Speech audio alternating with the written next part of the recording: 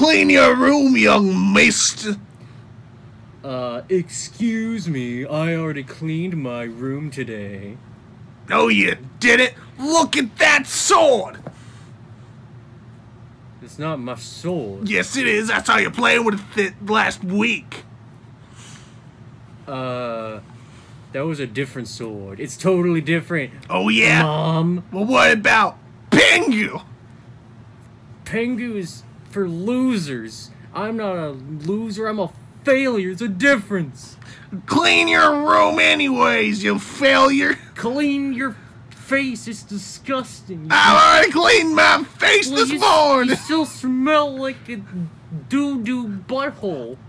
You, Ugh. you meanie. Take that back. Take a shower. Put on deodorant. Ah! Ugh. Come here.